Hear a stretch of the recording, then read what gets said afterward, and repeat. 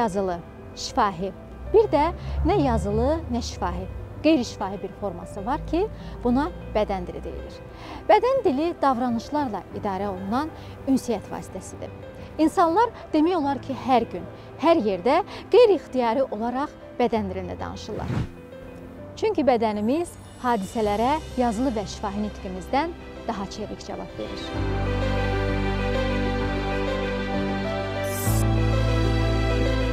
Salam, Salam. Nurani xanım, necəsiz? Çox sağ olun, yaxşıyam. Xoş gəlmisiniz. Çox sağ olun. İşləriniz necədir? Dərslər necə gedir? Ə, yorğun, sıx rejimlə, amma maraqlı gedir, yaxşı gedir. Lap yaxşı. Bədən dilinizdən və əhvalınızdan görürəm ki, hər şey yaxşıdır. Əla. O zaman elə gəlmişkən həm bədən dilinə, həm də özümüzdən danışaq. Buyurun.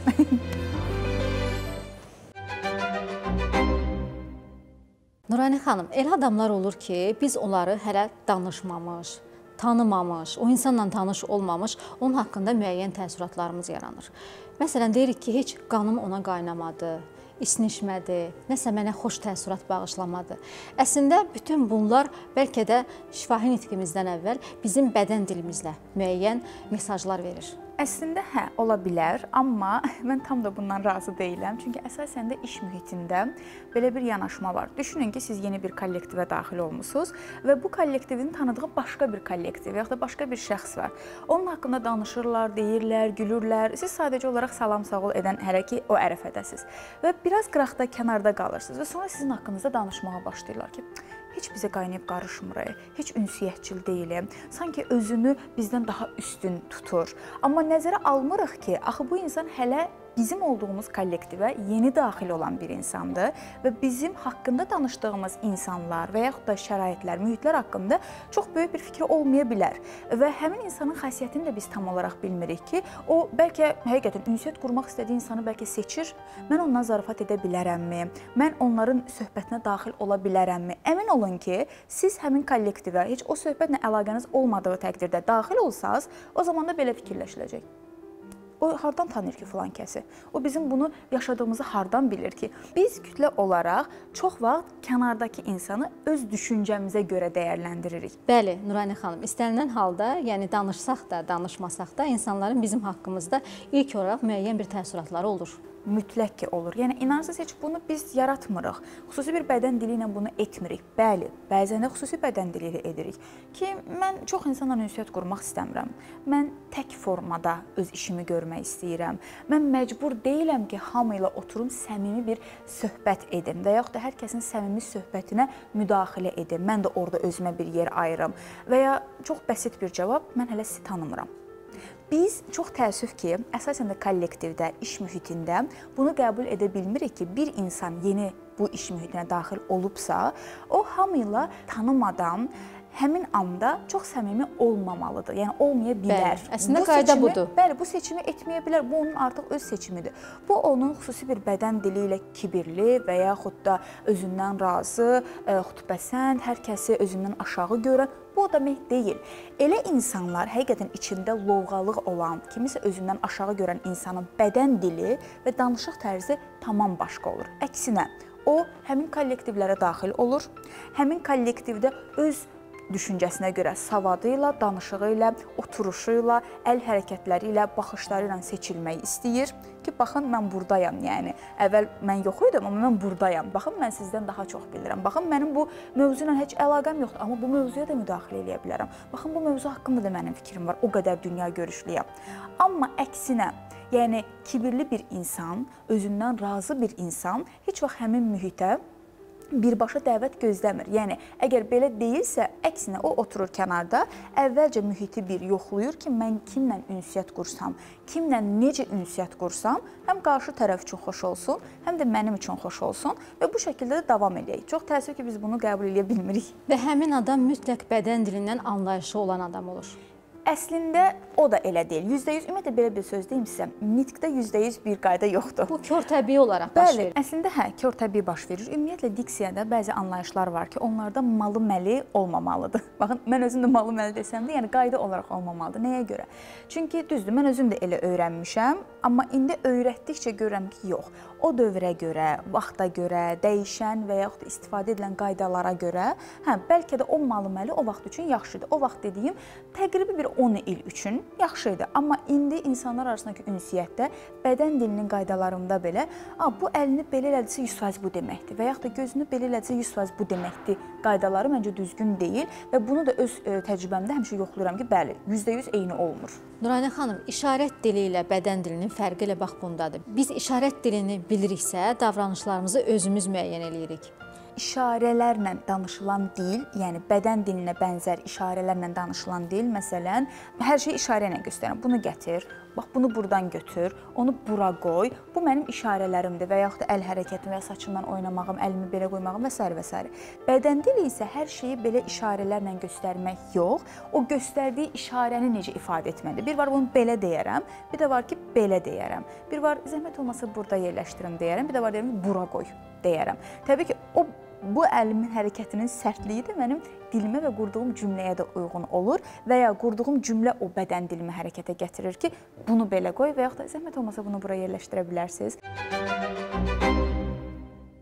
Nurayna xanım, məsələn, elə anlar var ki, biz səsimizi çox bəyənmirik və onun tembrını dəyişməyə çalışırıq. Bədən dilimizi bəyənmirik. Bu körtəbii halda baş verirsə, bizim çox zaman heç bundan xəbərimiz olmur. Amma məsələn, siz indi danışırsınız. Efir etikasına və estetikasına görə mən sizi dinləyirəm. Sizi dinlədiyimi bədən dilimlə təsdiqləyirəm. Ən azından baxışımla, təbəssümümlə, hər hansı bir baş hərəkəti ilə sizin dediklərinizi təsdiqləyirəm. Amma bir də var, bir insanın qarşısında necə oturursan, onu necə dinləyirsən, bəzi çox məşhur bədən dili hərəkətlərimiz var ki, mən istəyirəm biraz onlardan danışaq.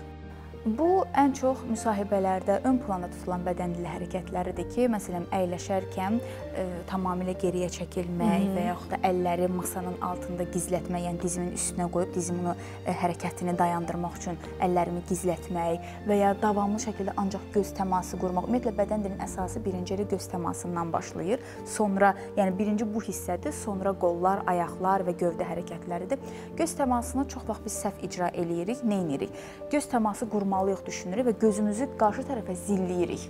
Göz təması narahatlıq yaradır. Təbii ki, düşünün ki, mən bəyəm siz xanımsınız və mən davamlı fikirləşirəm ki, mən göz təması qurmalıyım. Ancaq gözümü sizə zilləyib baxıram və ümumiyyətlə nəsə düşünəndə belə-belə düşünürəm ki, hə bəs bu necə oldu? Mən fikirləşirəm ki, bu düzgün hərəkət deyil. Çünki biz istəmsiz şəkildə hər hansısa bir nəsə düşünəndə, məsələn, mən də indi fikrimi toplamaq üçün bura yerə də baxa bilərəm, göyə də baxa bilərəm. Bəlkə oradan hansısa bir rəng, hansısa bir forma mənə bir o fikri tamamilə ötürəcək. Mən onu düşünüb sizə o geri dönüş eləyə bilərəm. Bu o demək deyil ki, qarşıma tərəfi heç nəzərə almayım, ancaq gözüm belə qalsın. Amma bəzən də deyirlər ki, gözü yayındırırsansa, doğru danışmırsan. Onu deyirəm ki, bu fikirlər artıq indi tətbiq olunası fikirlər deyil. Emosiyalarımızı süni şəkildə idarə etsək, biz danışığımızı Bəli, itirə bilərik. Ona görə bizim üçün bədən dili ümumiyyətlə danışığımızı gözəlləşdirmək üçün var. Yəni dümdüz danışmamaq, yorucu danışmamaq, qarşımdakı insanı sıxmamaq üçün mən bədən dilindən istifadə etməliyəm ki, o hiss və duyğularımı intonasiyamda bildirdiyim kimi bədən dilində mənə təkan versin. Bəlkə sözüm çox maraqlı olmaya bilər, amma onu çox maraqlı danışa bilərəm ki, qarşı tərəf sıxılmasın. Amma bu o demək deyil ki, mənim bədən dilim sözümün önünə keçməlidir.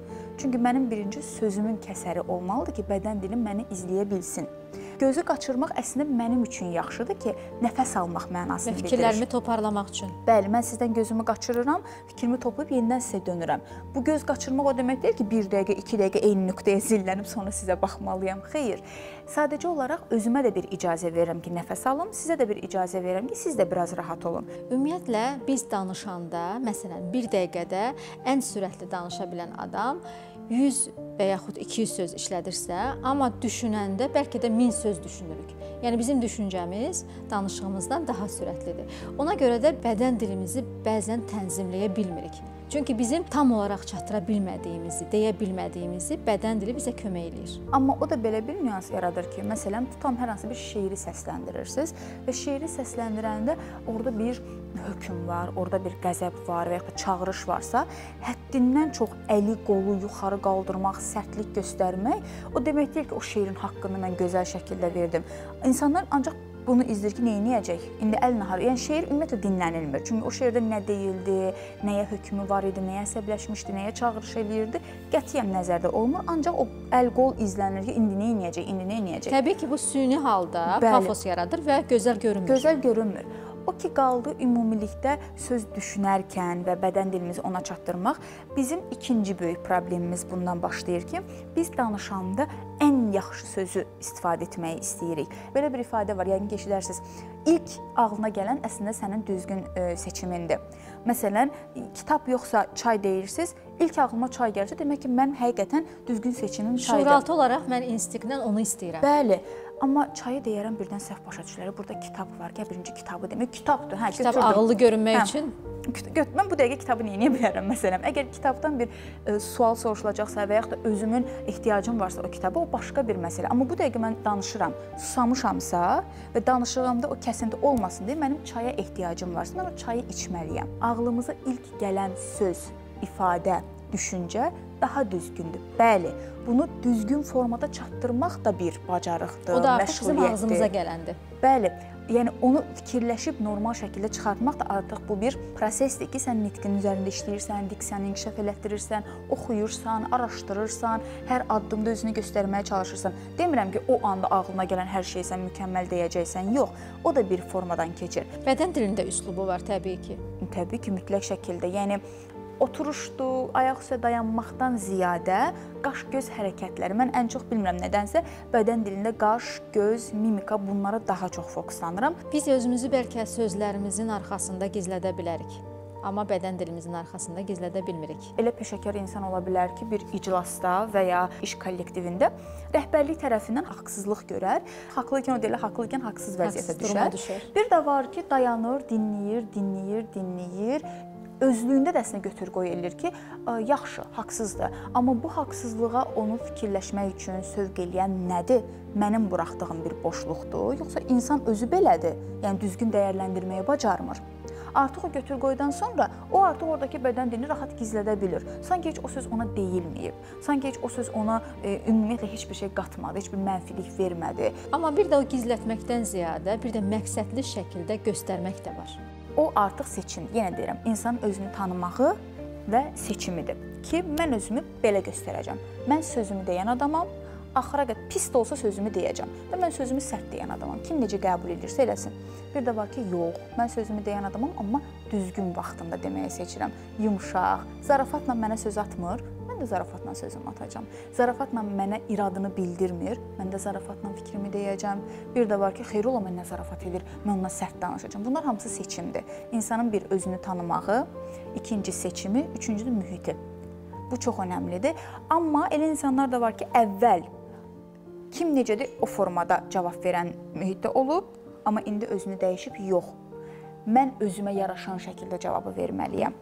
Əvvəl də Məhz bəzən də ola bilər ki, hə, bəzən də elə ola bilər ki, yox, mən özümə yaraşan formada danışmalıyam. O kim olursa olsun, mən ona kimi danışmayacağam. Deyir, deyir, deyir, deyir. Sonra bir müddətdən sonra dəyişir. Yox, elə kim necə layiqdirsə o formada cavab verəcəm. Nurayna xanım, bədən dilimiz bizim auditoriyamıza görə, məkanımıza görə, həm də əhvalımıza görə dəyişir. Məsələn, qolumu çarpazlaşdırıb belə dayanaramsa, ola bilər ki, mən o insanı ya dinləmək istəmirəm, ya ümumiyyətlə baxırsınız da deputatların məsəl üçün postlarında, şəkillərində və yaxud da bizim aparıcıların şəkillərimizdə belə dayanmaq var məsələn. Bu çarpaz qol nəyi ifadə eləyir? Bəzən deyirlər bu üşümək mənasını verir. Bəzən qarşındakı insanı özündən daha aşağı görmək, özünü daha güvənli görmək mənasını verir. bədən dilinin istifadə edildiyi yerlərin də məqsədi fərqli olur. Məsələn, diksiyada, nitqdəki bədən dilinin o göstərdiyiniz hər hansı bir hərəkətin mənası o an üçün tamam başqa mənadadır, amma ümumilikdə bədən dili anlayışının tamam başqa ola bilər. Bu, bəli, özündən əminlikdir. Mən bu işi bilirəm, bu iş mənimdir və mən bu işlə bağlı sizlə məlumatlar bölüşəcəm. Biraz daha sərtlik ifadə edir. Qarşı tərəfə e, qurduğumuz bir divar kimi göstərir ki, yəni mən divar, bəli, mən özümü qoruyuram çünki mən bu işi çox yaxşı bilirəm və bunu mən sizlə bölüşəcəm. Ümumiyyətlə e, bu duruş artıq bir müddətdən sonra aparıcılarda belə çox istifadə edilməyən bir duruşa çevrildi. Başqa-başqa sahələrdə istifadə edilməyə başladı. Amma yenə də deyirəm, budur və yaxud da əlləri geridə saxlamaq, sinəni çox irəli çəkmək, başı çox dik tutmaq, Bunlar bizim özümüzü qorumaq üçün yaratdığımız o mühafizə çərçivələridir. Amma, amma istər bədən dili, istər söz, istər səs, özümüzü nə qədər çərçivəyə salsaq, o qədər də çətinliyə sövq eləmiş oluruq. Özümüzdən nə qədər eyni anda möhtəşəm, möhtəşəm, möhtəşəmi gözləsək, o qədər zəif bir təqdimat etmiş oluruq. Səmimiyyətdən bir o qədər uzaq oluruq. Biraz, bəli, biraz özümüzə icazə verməliyik. Rahatlığa da, səfhə də, hər hansısa bir yerdə həyəcana da. Çox vaxt baxın, həyəcanla qorxunu qarışdırırlar. Ona görə əl-qol bir-birinə qarışır, fikirlər qarışır. Həyəcan müsbət duyğudur, qorxu mənfi duyğudur. Həyəcan insanı yeni addımlara sövq eləyən duyğudur. Qorxu isə özgüvənsizlik və nəyi necə edə biləcəyini bacarmamaq və bunu bilməmək duyğusudur. Ona görə həyəcanla qorxunu qarışdırmaq olmaz. Həyəcan səhnəyə çıxıram, hazıram, hər şeyə hazırlaşmışam, özümə güvənirəm, savadıma, bacarığıma, nitqimə.